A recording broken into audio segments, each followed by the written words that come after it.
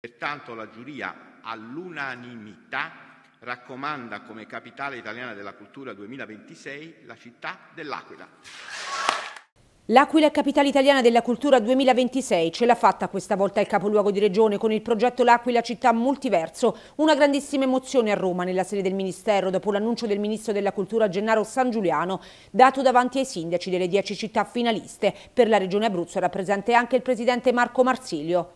La giuria ha votato l'Aquila all'unanimità perché il dossier ha proposto un modello di valorizzazione del territorio, questa è la motivazione, che mira al recupero dell'identità partendo dalla cultura come volano per lo sviluppo, facendo da collante con tutti i territori circostanti, con attenzione ai giovani e con una rete che mette al centro il sistema museale, bibliotecario universitario. Un giudizio eccellente, quindi quello dato dalla commissione presieduta da Davide Maria Desario. Emozionatissimo il sindaco Pierluigi Biondi che non ha trattenuto le lacrime perché questo riconoscimento arriva a 15 anni dal terremoto, ma non è un risarcimento, ha detto.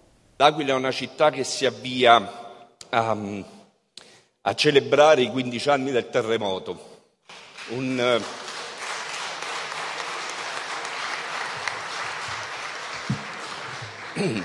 un evento che ci ha colpito non soltanto come istituzioni, ma a me personalmente come sindaco, ma in primis come cittadino e come rappresentante di una comunità locale che ha sofferto tantissimo.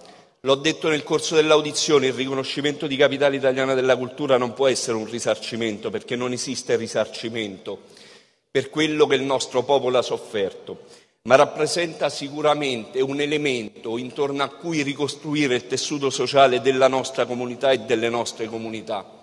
Lo abbiamo detto, la cultura non è un elemento accessorio nel percorso che stiamo facendo, è un elemento fondamentale e, fondante, è recupero dell'identità, è voglia di emancipazione, ma è anche proiezione nel futuro.